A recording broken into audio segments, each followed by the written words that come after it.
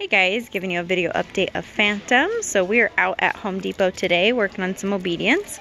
It's really, really great for him to get out into new environments. There's a lot of things that he hasn't seen before and so he often gets distracted because it's very new.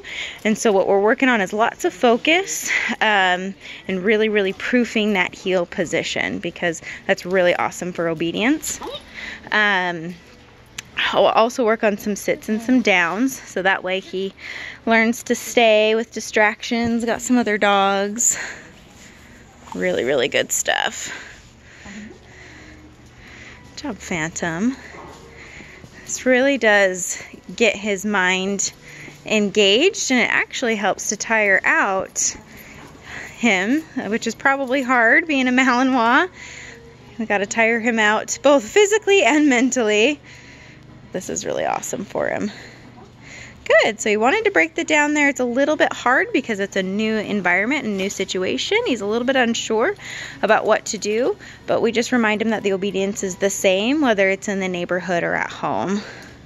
Good boy. And he can't get up from that down until Jess releases him, so that was really good. He waited for her to come back and release him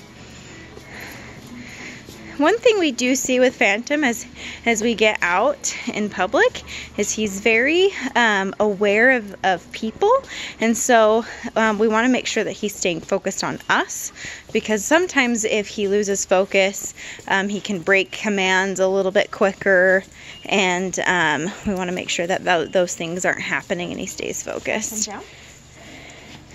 Good job. Phantom come. Good.